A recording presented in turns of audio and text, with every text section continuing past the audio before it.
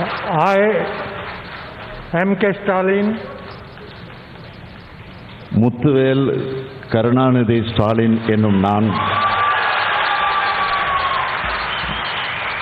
சட்டப்படி அமைக்கப்பெற்ற இந்திய அரசியலமைப்பின்பால் உண்மையான நம்பிக்கையும் மாறா பற்றும் கொண்டிருப்பேன் என்றும் இந்திய நாட்டின் ஒப்பில்லாத முழுமுதல் ஆட்சியையும் ஒருமையும் நிலைநிறுத்துவேன் என்றும் தமிழ்நாட்டு அரசின் முதலமைச்சராக உண்மையாகவும் உளச்சான்றின்படியும் என் கடமைகளை நிறைவேற்றுவேன் என்றும் அரசியலமைப்பிற்கும் சட்டத்திற்கும் இணங்க அச்சமும் ஒருதலை சார்புமின்றி விருப்பு வெறுப்பை விளக்கி பலதரப்பட்ட மக்கள் அனைவருக்கும் நேர்மையானதை செய்வேன் என்றும் உளமாற உறுதிமொழிகிறேன்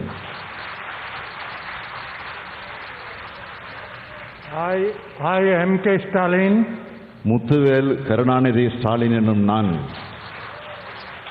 தமிழ்நாட்டு அரசின் முதலமைச்சர் என்ற முறையில் எனது கவனத்துக்குள்ளாவதும் தெரிய வருவதுமான எந்த பொருளையும் முதலமைச்சரின் கடமைகளை உரியவாறு நிறைவேற்ற தேவையான அளவுக்கன்றி ஒருவரிடமோ பலரிடமோ நேர்முகமாகவோ மறைமுகமாகவோ அறிவிக்கவோ வெளிப்படுத்தவோ மாட்டேன் என்று உளமாற உறுதிமொழிகிறேன்